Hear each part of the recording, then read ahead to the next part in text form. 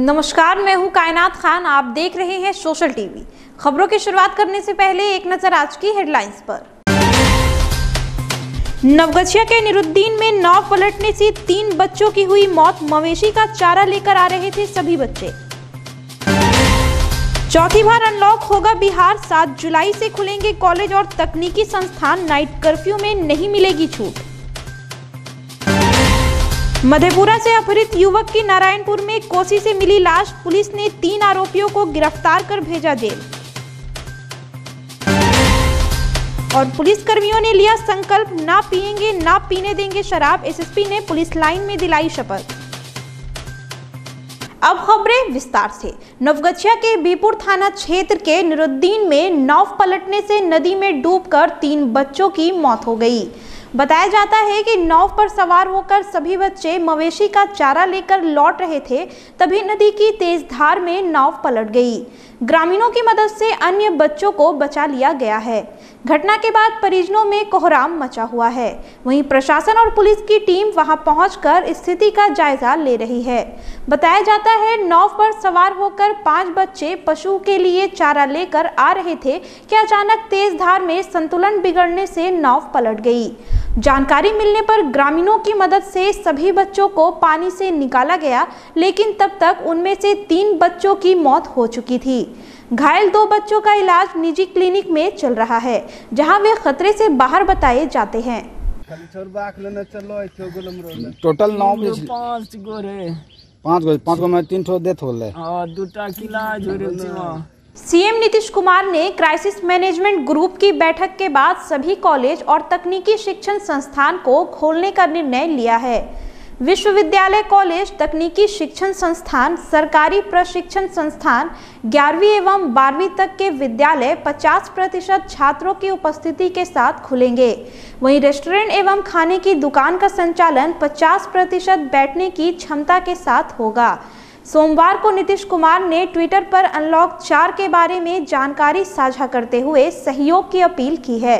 सोमवार को हुई अहम बैठक में सीएम नीतीश कुमार समेत राज्य सरकार के कई मंत्री और पदाधिकारी शामिल हुए। पदाधिकारियों के साथ विचार विमर्श करने के बाद अनलॉक चार के नियम कानून को लागू करने का निर्णय लिया गया। दुकानें शाम सात बजे तक खुली रहेंगी। अनलॉक चार के दौरान भी रात में नाइट कर्फ्यू नौ बजे से लागू रहेगा। बिहार में अनलॉक चार के नए नियम कानून 7 जुलाई से लागू होंगे।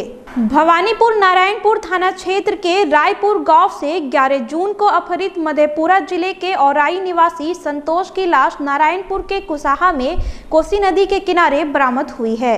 पुलिस ने संतोष के भाई मनीष कुमार के बयान पर भवानीपुर से तीन आरोपियों को गिरफ़्तार कर जेल भेज दिया है।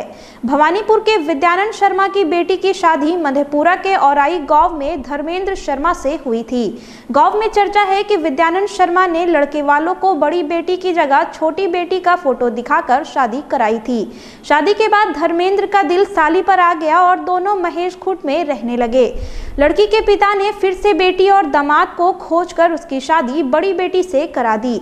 इस बीच 11 जून को धर्मेंद्र दोबारा अपनी साली को लेकर फरार हो गया। विद्यानंद शर्मा को शक था कि उसकी बेटी को भगाने में धर्मेंद्र के दोस्त संतोष शर्मा का हाथ है। विद्यानंद शर्मा ने पुलिस को बताया कि संतोष का अपहरण कर उसे अजीत शर्मा, सुधो ठाकुर ढोडा शर्मा की मदद से उसकी हत्या कर दी। सोमवार को मध्य निषेध को लेकर सरकार के निर्देश पर पुलिस केंद्र में सभी पुलिस कर्मियों को शराब नहीं पीने की शपथ दिलाई गई। एसएसपी निताशा गुड़िया की मौजूदगी में शपथ लेते हुए कर्मियों ने कहा कि आजीवन शराब का सेवन नहीं करेंगे और शराबबंदी कानून लागू कराने के लिए विधि सम्मत जो भी कार्रवाई अपेक्षित है उसे करेंगे। शपथ ग्रहण कार्यक्रम के बाद एसएसपी निताशा गुरिया ने कहा कि शराब तस्कर और पीने वालों पर कठोर कार्रवाई की जा रही है। बॉर्डर पर सघन चेकिंग अभियान चलाया जा रहा है। पुलिस कप्तान ने युवाओं से अपील की है कि बिहार को नशा मुक्त बनाकर बेहतर समाज के निर्माण में सहायक बने।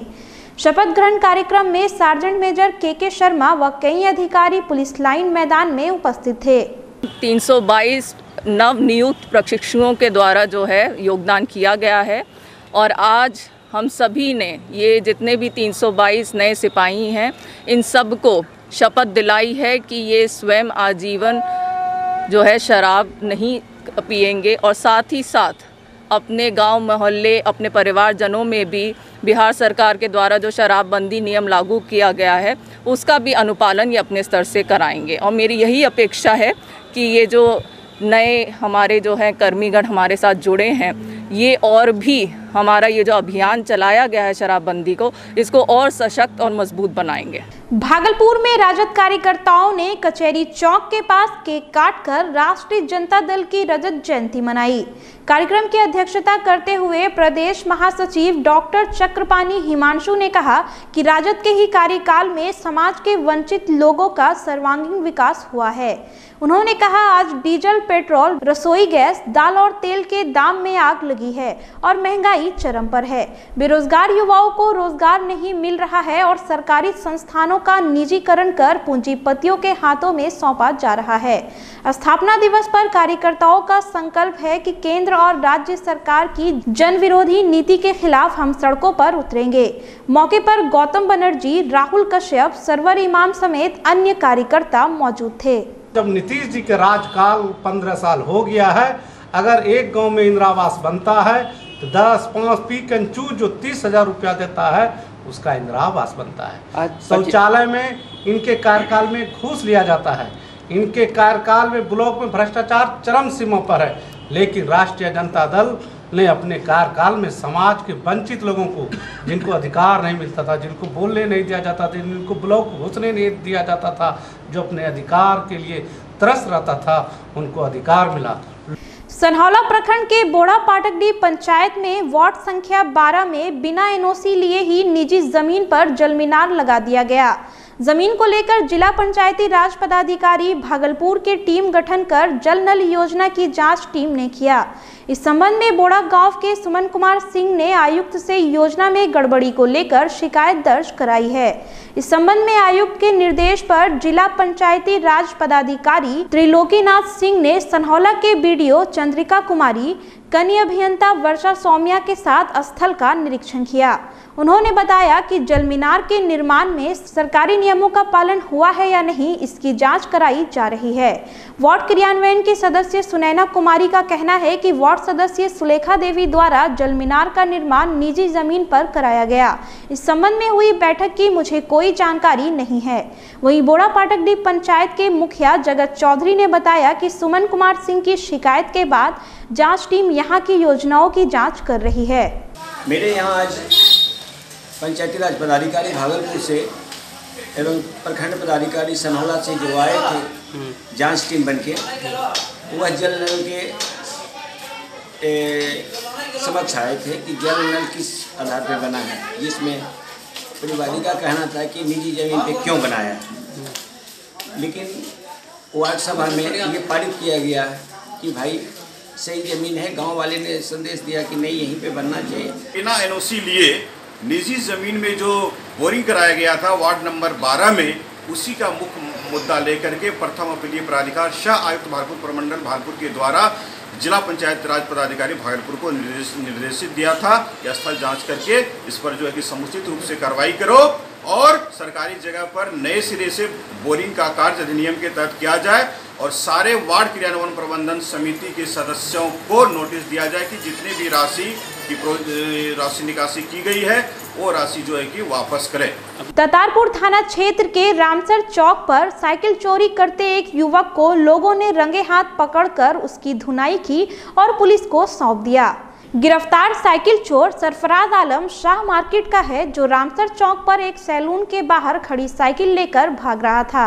वहीं पिटाई के बाद सरफराज ने अपनी सफ़ाई में कहा कि मैं चोर नहीं, बल्कि रंग का कार्य करता हूँ और सैलून में बाल कटाने आया था। पुलिस युवक को गिरफ़्तार कर उससे पूछताछ कर रही है। यहाँ आए थे ऐसे घूमने फिरने बाल ताल कटवा तो साइकिल लेके कैसे जा रहा था ये लोग जो पकड़ा? नहीं तो वहाँ पर जब साइकिल छुए ना तो लोग इसके लेके भाग रहा तो वही मारे। अपनी मांगों के समर्थन में सोमवार को नगर निगम के सफ़ाई कर्मियों ने निगम परिसर में पहले विरोध प्रदर्शन किया और अनिश्चितकालीन हड़ताल पर चले गए। उनकी मुख्य मांगों में पटना नगर निगम की तर्ज पर वेतन में बढ़ोतरी और सातवां वेतनमान है। सफ़ाई मजदूर संघ के सचिव रघुवीर हरि ने कहा कि हमें कभी भी समय पर वेतन नहीं दिया जाता है। 30 से 40 सालों से कार्यरत रहते हुए भी ईपीएफ का पैसा नहीं मिला है। उन्होंने कहा, जब तक हमारी मांगे पूरी नहीं हो जाती, हड़ताल पर जारी रहेंगे। हमारा जो सरकार वेतन बढ़ाया है, वो हमको भुगतान मिले। 425 पटना नगर निगम के तरफ़ से हमको मिले, जिसकी बोर्ड ने स्वीकृति भी दे दी है। पेंडिंग पड़ा हुआ है। सातवां वेतन सभी विभागों में मिला है वो हमको मिले। जितने लोगों को नजायज ढंग से हटाया गया है उसको वापस ले। जितने लोगों को साठ आठ महीना से काम करवाया उस सबको भुगतान करे। और यहाँ घुसखोरी भ्रष्टाचार चरम पर है उसको बंद करे। सेवांत लाभ में पचास हज़ार से एक लाख रुपया लिया जाता है उसको बंद करे। और जो गलत काम कर, कर्मचारी कर रहा है जिसका न्याय कर रहा है उसको दंडित करे उसको परेशान हटाया जा काम से। भागलपुर के सिकंदरपुर में दिल्ली क्राइम भ्रष्टाचार विरोध मोर्चा का सदस्य बताने वाले एक ठग को मोहल्ले वालों ने पोल में बांधकर जमकर पिटाई की। राघवेंद्र कुमार रजक दिल्ली क्राइम भ्रष्टाचार विरोध मोर्चा का कार्ड लेकर महिलाओं से बंधन बैंक के कागजात की जाँच कर रहा था। शक होने पर मोहल्ले वालों ने युवक से पूछताछ की तो उसकी पोल खुल गई।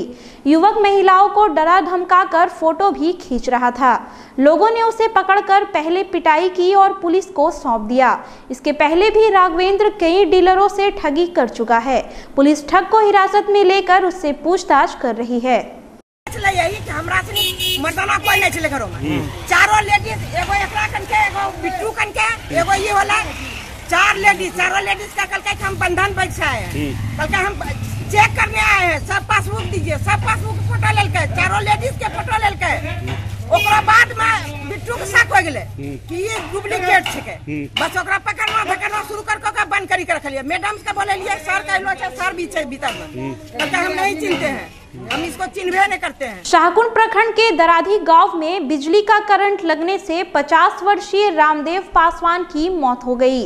वह बहियार में घास काटने गया था, तभी वह नीचे गिरे तार की चपेट में आ गया और मौके पर ही उसकी मौत हो गई। गुस्साई परिजनों ने शव को सड़क पर रखकर प्रदर्शन किया। गाँव वाले इस घटना के लिए बिजली विभाग को जिम्मेदार ठहरा रहे हैं। उनका कहना है कि कई दिनों से यहाँ तार गिरा था, जिसे विभाग ने नहीं हटाया, जिससे रामदेव की मौत हो गई। रामदेव अपने परिवार का एकमात्र सहारा था और उसके दो छोटे बच्चे भी हैं। थाना अध्यक्ष महाश्वेता सिन्हा ने कहा कि परिजनों की शिकायत मिलने पर मामले में यूडी केस दर्ज किया जाएगा। फ़िलहाल खबरों में इतना ही। अब मुझे दीजिए इजाज़त। नमस्कार।